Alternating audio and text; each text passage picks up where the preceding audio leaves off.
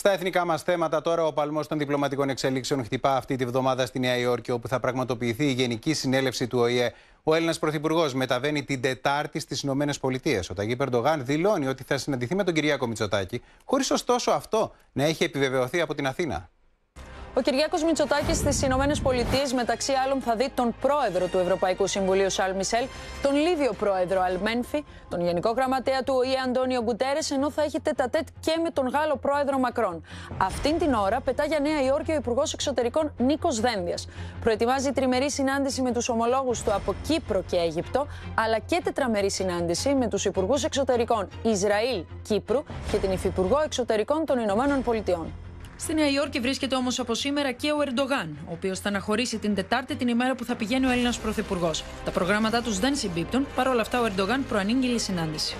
Yine aynı şekilde biz Amerika'da gerçekleştireceğiz. Kendisiyle de orada görüşmemiz var. Από την ελληνική πλευρά πάντως δεν έχει επιβεβαιωθεί η συνάντηση. Σύμφωνα με πληροφορίες του Σταρ, αν αλλάξει κάτι από πλευράς Ερντογάν και υπάρξει αίτημα, τότε η κυβέρνηση θα το εξετάσει θετικά.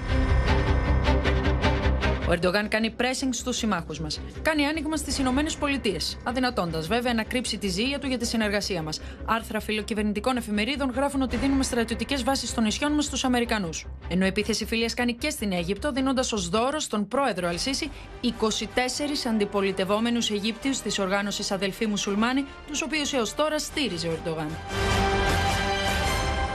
Και ενώ από τη μία ο Σουλτάνος ζητά συναντήσεις, από την άλλη εκτοξεύει απειλές.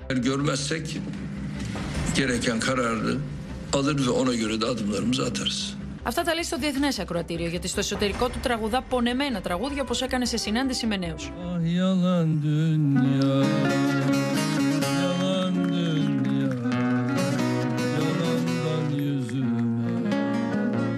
Για τον ρόλο της Ελλάδας στην περιοχή μίλησε ο αρχηγός Γεθά στρατηγός Κωνσταντίνος Φλόρος στο συνέδριο της Στρατιωτικής Επιτροπής του ΝΑΤΟ, που πραγματοποιείται στην Αθήνα παρουσία του Τούρκου αρχηγού Γεθά. I had the chance to stress to my colleagues, among others, the important role of Greece as a robust pillar of security in the volatile Eastern Mediterranean.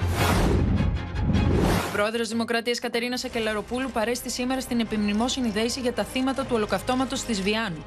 Κατέθεσε στεφάνη ενώ δεν κατάφερε να κρύψει τη συγκίνησή της αναφερόμενης στις γυναίκες της αντίστασης. είναι οι γυναίκες που κράτησαν ζωντανή τη μνήμη της συμφοράς, αλλά και της αντίστασης στην ναζιστική θηριωδία. Λοιπόν, σε λίγη ώρα φτάνει στη